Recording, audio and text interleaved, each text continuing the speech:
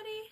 Uh, I'm just here to read another book to you today. Sorry it took me a minute to get back to reading again, but I'm going to read you Grumpy Monkey, and it's by Susan Lang, and it's um, illustrated by Max Lang.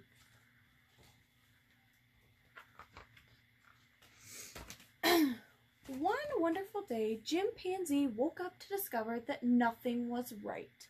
The sun was too bright, the sky was too blue, and the bananas were too sweet. Oh, he does not look very happy.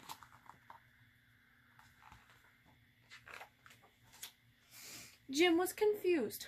What's going on? Maybe you're grumpy, suggested Norman from next door. I'm not grumpy, Jim insisted. Hmm, sounds kind of grumpy. On his walk, he met Marabou. Jim's grumpy, Norman told Marabou. Why are you grumpy, Jim? asked Marabou. It's such a wonderful day. Grumpy? Me? I'm not grumpy, said Jim. But look at how you're standing, Marabou said.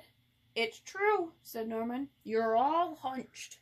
So Jim loosened up. Then he ran into, into Lemur. Jim's grumpy, Norman told Lemur. Well, why are you grumpy, Jim? asked Lemur. It's such a wonderful day. Grumpy? Me? I'm not grumpy, said Jim. Your eyebrows look grumpy, said Lemur. It's true, said Norman. They're all bunched up. So Jim raised his eyebrows, raised them really high.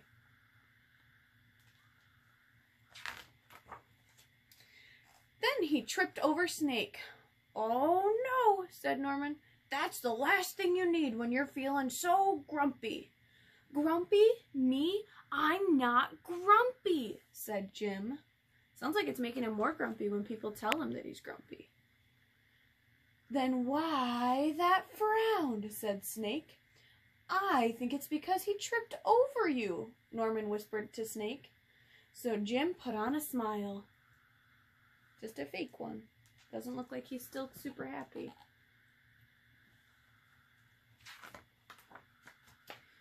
Finally, Jim looked happy, but he didn't feel happy inside.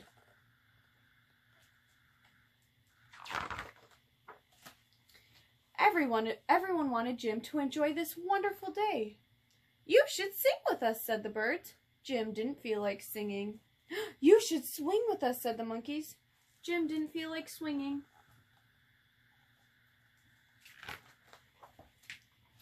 You should roll with us, said the zebras. Jim didn't feel like rolling. You should stroll with us, said the peacocks. Jim didn't feel like strolling. You should lie in the grass. You should stomp your feet. Doesn't look like he feels like doing anything today.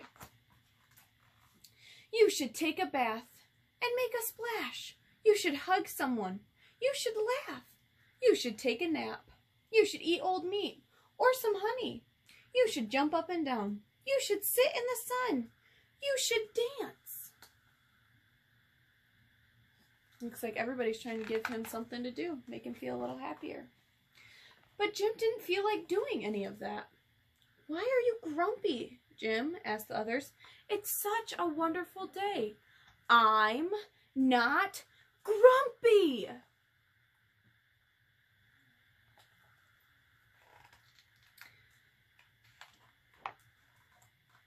and he stormed off. Looks like he was not happy with his friends. Jim felt sorry, a little sorry for shouting at everyone, but mostly sorry for himself. I guess I am grumpy, Jim sighed. And just as he was starting to feel really sad, he came upon Norman. Norman was slumped, his eyebrows were bunched up and he was frowning. What's the matter? Are you grumpy? asked Jim. No, I danced with Porcupine, said Norman. Are you okay? asked Jim. It hurts, but I'll probably feel better soon enough, said Norman.